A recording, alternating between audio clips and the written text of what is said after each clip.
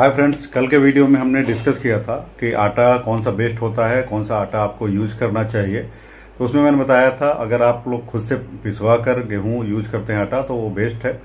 उसके बाद हमने बताया था, अगर नहीं पिसवा पाते हैं तो कौन सा आटा यूज़ करना चाहिए, वो आप लोग पिछले वीडियो में देख सकते हैं। आज के इस वीडियो में हम बात करेंगे कि मल्टीग्रेन जो आटा होता है, उसमें कौन कौन सी चीज़ें मिलाई जाती हैं, या कैसे आप लोग मल्टीग्रेन आटा घर पर बना सकते हैं। तो मल्टीग्रेन जो आटा होता है, उसमें किस अनाज का क्या रेशियो होना चाहिए, वो भी इस वीडियो में मैं आपको बताऊँगा। तो मल्टीग्रेन आटा में सबसे पहले आप लोग चना यूज़ कर सकते हैं। चना जो होता है, आपको ब्लड शुगर जो बढ़ी होती है, उसको कंट्रोल करता है। कोलेस्ट्रॉल बढ़ा हुआ होता है, उसको कंट्रोल करता है। और प्रोटीन का भी अच्छा सोर्स होता है। तो एक चना आप यूज़ कर सकते हैं, बाजरा यूज़ कर सकते हैं। बाजरा जो होता है बॉडी के टॉक्सिन्स को बाहर करता है मतलब डिटॉक्सीफाई करता है। और जौ जो होता है, जौ यूज़ कर सकते हैं। जौ किडनी की हेल्थ को आपको इम्प्रूव करता है। इसके बाद रागी होता है। रागी को भी आप लोग यूज़ कर सकते हैं, क्योंकि रागी जो होता है लो कैलोरी का सोर्स होता है। और ये आपको वेट लॉस करने में हेल्प करता है। इसके बाद वेट तो लॉस करता ही करता है, लेकिन ये आपको जॉइंट्स जो होते हैं, उनको मज़बूत बनाता है। तो रागी, चना, जौ, बाजरा, ये चार अनाज आप लोग गेहूँ के आटे के साथ ऐड करके मल्टीग्रेन आटा बना सकते हैं। अब हम बात करते हैं कि मल्टीग्रेन आटा जो आप बनाएँगे, वो उसमें क्या क्या रेशियो में आप लोग इसको मिलाएँगे।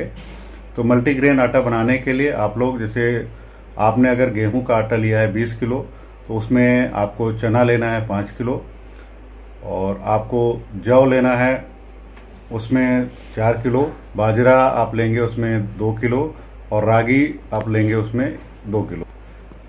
तो इस रेशियो में बनाकर आपका मल्टीग्रेन आटा रेडी हो जाता है और ये आटा खाने से आप लोग हेल्दी रहेंगे। आपको कई बीमारियों से बचने में हेल्प होगी क्योंकि आप लोगों ने देखा होगा, पुराने टाइम में जो लोग काफ़ी टाइम तक बीमार नहीं होते थे हेल्दी रहते थे। उसका कारण यही था कि वो हर टाइप का अनाज खाते थे।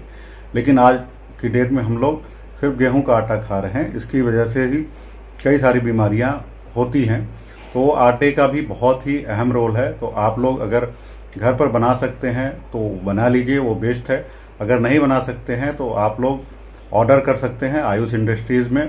आप लोग को ये आटा मल्टीग्रेन आटा मिल जाएगा। अब बात करते हैं, इसको हमको मिक्स करके रखना चाहिए या सेपरेट रखना चाहिए। तो सबसे अच्छा तो यही है कि आप लोग जो ये अलग अलग अनाज पिसवा कर उनको सेपरेट रखिए। उसके बाद जब आपको ज़रूरत हो तब मिक्स करके आप बना सकते हैं। क्योंकि मिक्स करके रखने पर ये हफ़्ते दस दिन में ख़राब होने के इसके ज़्यादा चांसेस होते हैं। तो इसलिए इसको मिक्स करके ना रखिए। सेपरेट रखिए, जब आपको रोटी बनाना हो उस टाइम ये आटा इसी रेशियो में मिक्स कर लीजिए और उसको यूज़ करके आप लोग रोटी बना सकते हैं और हेल्दी रह सकते हैं।